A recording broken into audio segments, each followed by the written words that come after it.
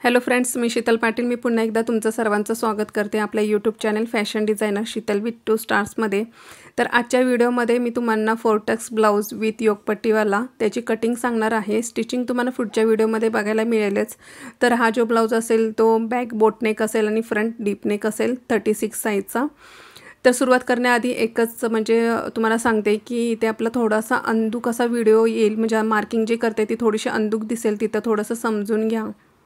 आता इथे आपण पूर्ण उंचीमध्ये आपल्याला इथे एक इंच प्लस करायचं आहे. तुमची जी पण उंची असेल ती घ्या. इथे पावणे चौदा होती. त्याच्यामध्ये एक इंच प्लस केला केलेला आहे. आता इथे आपण शोल्डर जे आहे फुल शोल्डर घ्यायचं त्याचं अर्ध घ्यायचं आणि त्याच्या पुढे आपल्याला अर्धा इंच प्लस करायचं आहे. म्हणजे इथे चौदा आहे तर त्याचं सात घेतलेलं आहे आणि त्याच्या पुढे अर्धा इंच मी प्लस केलेला आहे. थोडासा अंदुक अंदुक व्हिडिओ येत होता आणि इथे तर इथे तरी बऱ्यापैकी आहे. मागचे मी चार पाच व्हिडिओ बनवले होते बनवून ठेवले होते. गावी जायचं त्यामुळे बरेच म्हणजे नाही का कष्ट घेतले भरपूर असं टाईम काढून व्हिडिओ बनवले आणि ते असेच अंदूक आले. बाहेर वातावरणामुळे माझं लक्षच गेलं नाही तिथे. घाईमध्ये व्हिडिओ बनवले आणि हा पराक्रम झाला आणि ते व्हिडिओ फायनली मला डिलीट करावे लागले. हा बऱ्यापैकी तुम्हाला समजू शकतं. त्यामुळे तुमच्यासोबत शेअर करते मी. तर थोडंसं समजून घ्या. आता इथे आरमोल आपण सव्वा सात घ्यायचा आहे आणि एक इंच आपल्या आरमोल राऊंडसाठी इथे एक पॉईंट घेऊ शकता किंवा तुम्ही अर्धा पॉईंट पण घेऊ शकता. आणि वीट जी आहे ते आपण इथे चार इंच घेणार आहोत. जर तुम्हाला पुढचा कळा जास्त पसरट आवडत नसेल तर तुम्ही साडेतीन पण घेऊ शकता. आता इथे आपण काय करायचं आहे वेस्ट राऊंड आपले आता इथे म्हणजे ह्यांची जी आहे ती एकतीस आहे. त्याचा चौथा इथे मी पावणे आठ घेते. आणि त्याच्यामध्ये एक इंच प्लस करून दीड इंच मी मार्जिन घेते. आता इथे आपण असा मिडल घ्यायचा आणि जी टक्सची लेंथ आहे मागच्या टक्सची लेंथ बॅक साईडचं करत आहोत आपण आधी कटिंग ते पाच घेणार आणि अर्धा अर्धा इंच दोन्ही बाजूला वीत घेणार टक्सची जी वीत आहे ती. आता इथे आपण काय करायचं आहे फुल चेस्ट राऊंडचा आपल्याला चौथा घ्यायचा आहे छत्तीस आहे तरी ते नऊ येतं आणि त्याच्या पुढे दीड इंच प्लस करायचं आहे आणि असं मॅच करून घ्यायचं. इथे आपण आर्मोलचा राऊंड आखून घेऊयात. हे सगळं आपलं इथे झालेलं आहे आणि बॅकनेकची डिझाईन वगैरे तुम्हाला कळेलच पुढच्या भागामध्ये आणि इथे थोडंसं असं एक पॉईंट इतकं तुम्ही तिरकं घेऊ शकता. नाही घेतलं तरी काही हरकत नाही आणि घेतलं तर चांगलीच गोष्ट आहे. म्हणजे कसं आहे की जर एखाद्याला फिटिंगची लेंथ जी आहे साईडची जी जर ती जर आहे ना कट टू कट कस्टमरच्या ब्लाऊजच्या हिशोबाने पाहिजे असेल आणि ती कमी पडत असेल तर तुम्ही नका घेऊ.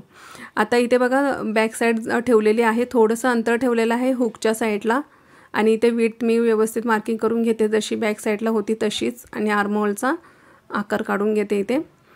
आणि इथे मी थोडंसं आपला अर्धा इंच असं मी ठेवलेलं आहे मार्किंग फक्त इकडे एक्स्ट्रा या बाजूला.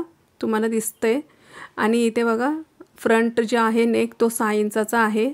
वीट जी होती तीच घ्यायची आहे आपण इथे. खाली पण खाली वाढवायची नाही. जसं की आपण प्रत्येक व्हिडिओमध्ये वाढवतो ना दोन घेतली तर खालच्या बाजूला सव्वा दोन घेतो. तर इथे तसं काहीच नाही करायचं कारण की आधीच पसरट होतो त्यामध्ये अजून पसरट नको. आणि थोडासा आतल्या साईडून असा राऊंड घ्यायचा. हे झालं. आता इथे मी पुन्हा एकदा हार्मोल घेते सव्वा सात आणि आतला हार्मोल व्यवस्थित मार्किंग करून घेते.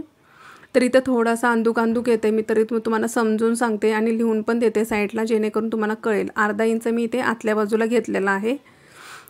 तुम्ही जर पहिल्यापासून जर आपले सबस्क्रायबर असाल तर तुम्हाला माहिती आहे आपण अर्धा इंच आतल्या बाजूला घेऊन कसं कटिंग करत होते. आणि इथे पण आपण एक इंच घेऊन आपण आर्महोल असा आखून घ्यायचा आहे. आता हे झालं. इथे तुम्ही विथ कमी घेऊ शकता फ्रंट आणि बॅक दोघांची पण. आता इथे बघा आपण जी टक्स पॉईंट आहे तो दहा आहे आणि वरचं आपलं स्टिचिंग मार्जिन जे जाणार शोल्डरचं ते टोटल पकडून साडे दहा आता इथे वरती एक आणि खाली एक अशी दोन्ही पण मी रेश मारून घेतलेल्या आहेत पट्टीवर. म्हणजे जो टक्स पॉईंट आहे ना टक्स पॉईंटच्या वरती एक इंच आपण रेश मारून घ्यायची. इथे चार इंचावरती मी मार्किंग करून घेते. इथे बघू शकता ब्लाऊजवरून पण मी एकदा चेक करते तर परफेक्ट आहे. आता ही जी खालची लेंथ आहे ते आपण व्यवस्थित मापून घेतली तरी चालते खालच्या बाजूला. पण मी इथे काय करते की जी आपली योगपट्टी आहे मिडलला यो म्हणजे टक्सच्या बरोबर खाली ती योगपट्टी वजा करते पूर्ण लेंथमधून म्हणजे पूर्ण लेंथ पावणे तेरा आहे सॉरी पावणे चौदा आहे. तर त्यातून मी वजा करते इथे. हे झालं. म्हणजे दोन इंचाची जी प योगपट्टी होती ती वजा केली आणि जी येते ती मार्किंग ठेवलेली आहे. वरचं शोल्डरचं जे मार्किंग आहे ते सोडून. आता इथे ज आपल्याला ही जी पट्टी घ्यायची आहे हुकची ती इथे मार्किंग करून घेते वरच्या साईडची योगपट्टीच्या वरच्या साईडची आणि खाली एक इंच एक्स्ट्रा घेते मार्जिन कारण की आपल्या टक्समध्ये पण दबलं जाणार आणि खालच्या साईडला आपल्याला मार्जिन पण हवी. आता इथे बघा दोन दोन इंचावरती मी मार्किंग करून घेते. टक्सची जी आपल्याला रुंदी पाहिजे दो म्हणजे तिन्ही पण खालच्या टक्समध्ये जे अंतर पाहिजे ते दोन दोन इंचावरती घेते. आणि इथे आर्महोलच्या बाबतीत भरपूर जणांचे प्रश्न असे असतात की एका व्हिडिओमध्ये तुम्ही म्हणजे आर्महोलच्या कोणातून घेतला एका व्हिडिओमधून वरतून घेतला. आता इथे मी दीड इंच वरतून घेतलं आहे जे आपला आर्महोलचा कोण आहे त्याच्यावरती दीड इंचातून घेतले. कारण का आपला जर बोट नेक असेल तर खाली आर्महोल आलेला असतो. आणि जर आपला नॉर्मल नेक असेल डीप नेक वगैरे तर आपला वर म्हणजे आर्महोल जो आहे तो वरच्या साईडला जातो. तेव्हा आपण कोणाच्या साईडून घेतलं तर चालतं. पण इथे आपण साईड टक्स हा थोडासा बोटनेकला वरतून घेतलं पाहिजे. जे आपला कोण येतो त्याच्या वरतून घेतलं पाहिजे. आता इथे व एक एक इंच घेते. खालची जी वीत आहे ती आणि बाकीच्या सगळ्या आहेत त्या अर्ध्या अर्ध्या इंचाच्या आहेत. आता इथे मी एक इंच घेते खाली कारण की वरती आपली जी जाणार ना म्हणजे टक्समध्ये आणि खाली मार्जिन ते सगळं पकडून मी इथे एक इंच घेतलं आणि असा आकार काढून घेतलेला आहे. बस आता इथे आपल्याला काय चेंज करायचं नाही आहे परफेक्ट आहे आणि इथे काही जास्त म्हणजे वेस्ट राऊंडमध्ये आणि फुल चेस्टमध्ये काही जास्त फरक नव्हता. तर त्यामुळे मी एक एक इंच म्हणजे जी टक्सची वीत आहे ती एक एक इंचच घेतलेली आहे. आता हे झालं. आता आपण इथे जी आपली बाह्य आहे ती बघू आपण. इथे बघा. आपल्याला टोटल आपलं इथे साडेआठ नऊ आलं पाहिजे रुंदी छत्तीस साईजसाठी आणि इथे थोडंसं मला लेंथला कमी पडत होतं कारण की ऐंशी सेंटीमीटर होता कपडा हा. तर ऐंशी सेंटीमीटर म्हणजे कमीच होता पंच्याहत्तर असं ह्या टाईपमध्ये होता. तर त्यामुळे थोडंसं मला खाली जॉईंट करावं लागेल. आता इथे बघा साडेआठ घेते. वरच्या साईडला आपण दोन जसं घेतो नेहमीप्रमाणे तसं घ्यायचं. लेंथ जे असेल त्याच्यामध्ये एक इंच प्लस करा. इथं तीन घेऊन इथे दीड घेतलेला आहे. बाजूला मी तुम्हाला लिहून दिलेलं आहेत मापं. आणि का इथे आपण आकार व्यवस्थित काढून घ्यायचा आहे. वरतून मी तीन घेतलेलं आहे खालपर्यंत माप. जर तुम्हाला तसं कळत नसेल तर ब्लाऊजचं जर रेडीमेड असेल तर खालून वरपर्यंत माप घ्या मार्जिन वगैरे पकडून. आता इथे आपण कट करून घेऊ. खाली आपला स्लीवचा राऊंड जो पण असेल तो घेऊन आपण दीड इंच त्यामध्ये प्लस करायचा आहे. तुम्हाला ह्याचा डिटेलमध्ये व्हिडिओ दिलेलाच आहे स्लीवचा त्यामध्ये काही चेंज नाही आहे. जसं आपण सगळ्या ब्लाऊजचे स्टिच करत म्हणजे कटिंग करत असतो त्याच पद्धतीने ह्याची पण कटिंग आपल्याला करायची आहे. तर इथे थोडंसं तुम्हाला दिसायला थोडासा प्रॉब्लेम झाला असेल पण मी त्या साईडला लिहून दिलं होतं.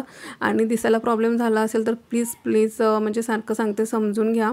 आता इथे योगपट्टी पण आपल्याला जोडून घ्यावी लागणार आहे कारण योगपट्टीला पण कपडा राहिला नव्हता साईडला तर इथे मी एकावर एक अशी ठेवते जे आपलं मार्जिन कट होणार ना त्याच्यामध्ये स्टिच करून ते एकावर एक ठेवते असं. म्हणजे आपल्याला कळेल की परफेक्ट किती माप घ्यायचं आहे. आणि सरळ मी सरळ रेश मारून घेते कारण की आपल्याला जी काट आहे जो तो आपल्याला घ्यायचा नाही याच्यामध्ये.